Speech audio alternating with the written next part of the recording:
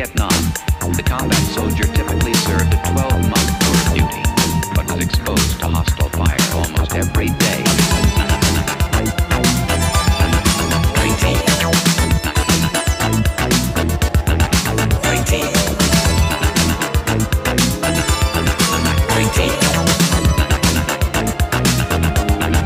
19.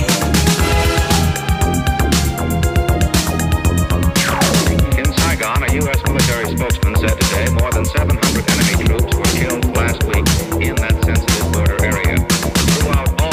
Vietnam.